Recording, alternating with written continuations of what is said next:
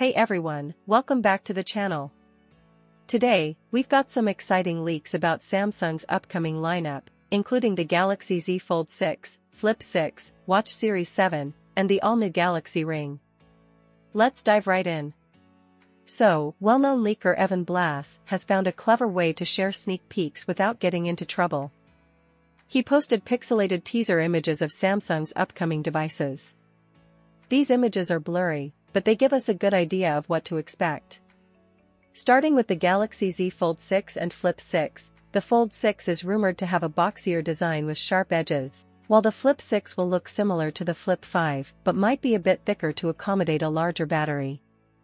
Next up, we have the Galaxy Watch Series 7 and Watch 7 Ultra. These new designs aim to compete with the Apple Watch Ultra 2, offering a fresh look and potentially new features. And here's something exciting, the Galaxy Ring. This is Samsung's first finger-based wearable for health monitoring. It's great to see Samsung expanding its wearable lineup. Samsung has also confirmed that the Galaxy Z Fold 6 and Flip 6 will feature enhanced Galaxy AI. According to Samsung's EVP, Jun Choi, the AI improvements will enhance the versatility and flexibility of their foldables. However, not everyone is impressed.